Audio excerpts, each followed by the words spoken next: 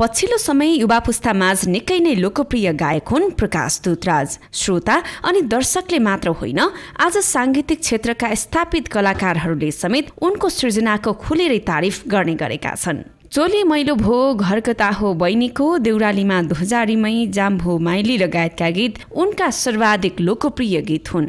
देश तथा विदेशका स्टेजमा उनको थामिन नसक्नुको माग छ। उनै गायक दुतराज केही दिन अघि मात्र पोखराको हिम्जा आलु महोत्सवमा पुगेका थिए। महोत्सवमा गीत गाउँदा गाउँदै उनलाई स्टेजमा आएर केही युवतीले चुम्बन समेत गरे। गीत गाइरहँदा चार पाँचजना युवती पालै पालो स्टेजमा उक्लिएर उनलाई चुम्बन गर्दै भागेका थिए। यो भिडियो अहिले सामाजिक सञ्जालमा भाइरल भइरहेको छ।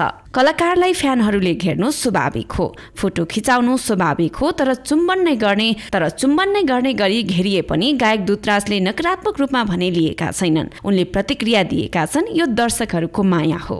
स्टेज कार्यक्रममा जाँदा फ्यानहरूको घेराउमा त दूतराज परि नै रहन्थे तर यो स्तरको क्रेज भने पहिलो पटक हो।